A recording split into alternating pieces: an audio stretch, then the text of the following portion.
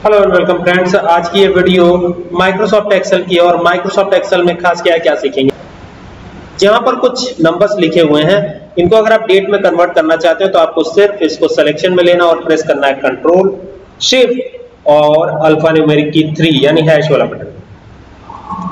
जैसे ही प्रेस किया तो आप देखेंगे कि ये डेट में कन्वर्ट हो जाएगा।